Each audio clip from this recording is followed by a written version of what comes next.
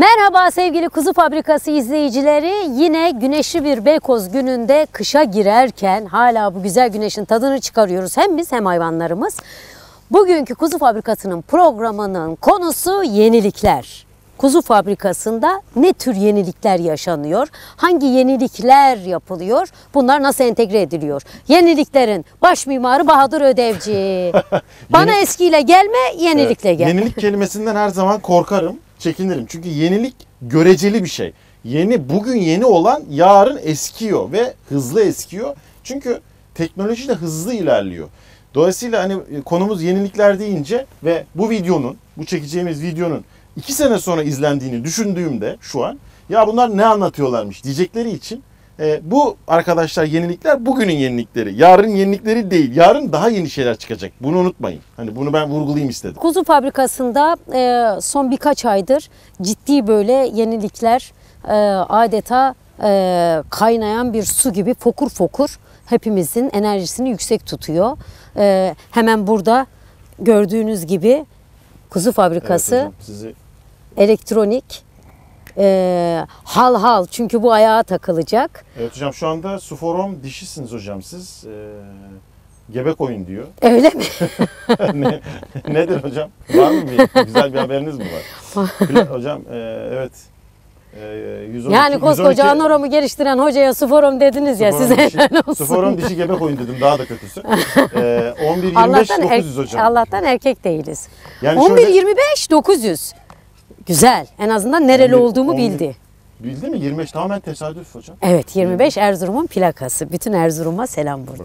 Bravo. Ee, burada tabii şimdi şöyle yenilik kelimesi dediğim gibi e, gö- zamana karşı göreceli bir ifade. Ancak şunu söyleyebiliriz. Biz e, et koyunculuğu sistemi içerisinde, et koyunculuğu e, ka- e, işi içerisindeki e, hep eksiklikleri kapatmaya çalışıyoruz burada.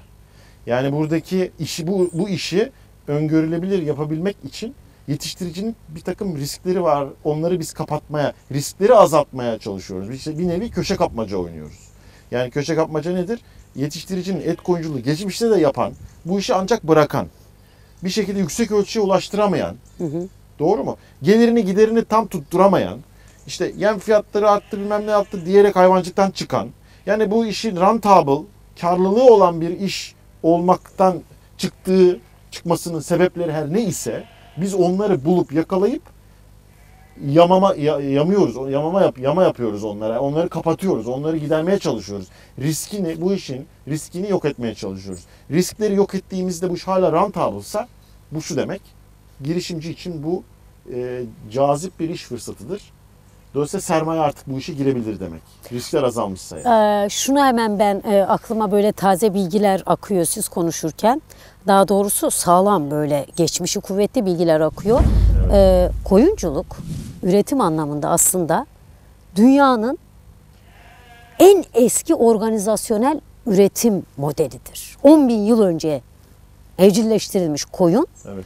literatürde şöyle geçer. Dünyanın en eski organizasyonel üretim e, hayvanıdır. Üretimde organizasyonu temsil eder. Çünkü sürü idaresi, sürü şeklinde e, koyunların yetiştirilmesi bir organizasyon ehliyeti, bilgisi ister. Şimdi yıllar geçtikten geçince 10 bin yıl önce ilk e, evcilleştirme insanların e, kontrol altına girdi koyunculuk ve çok güzel uyum sağladı. Kebap. Dediler ki biz dağda bayırda otumuzun yemimizin peşine gideceğimize vahşi hayvanlara zaten ürkeyiz. Zaten çok da güçlü değiliz.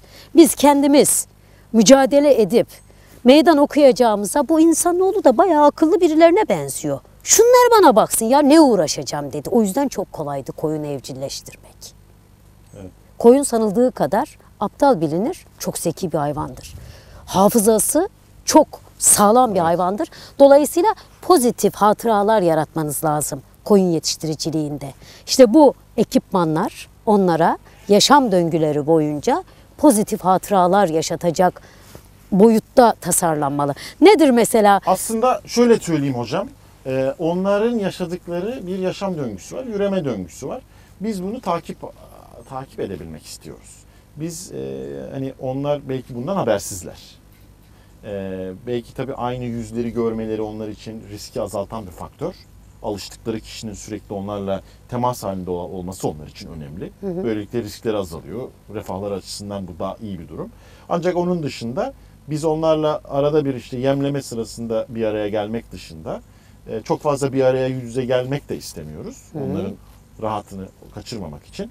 Biz onların durumlarını bilmek istiyoruz. Verimlerini bilmek istiyoruz. E, gelişim süreçlerini takip etmek istiyoruz. Nihayetinde de biz toplamda bu bir işletmedir. E, bu bir firmadır. Bu bir e, bunun toplam üretimini, toplam gelirlerini ve giderlerini, yıllık seviyede nakit akışını ve karlılığını bilebilmek istiyoruz. Yani aslında bu işte bakış açısı var. aslında bu işte ortaklık yapılan yegane muhatabınız koyunlar. Onlarla ortaklık yapıyorsunuz. Yani e, Ne doğru, verirsin, ne yani veririm. Onlar onlar bizim bu işletmenin onlar çalışanları arı gibi aslında görebiliriz. Bu işletmede çalışıyorlar onlar.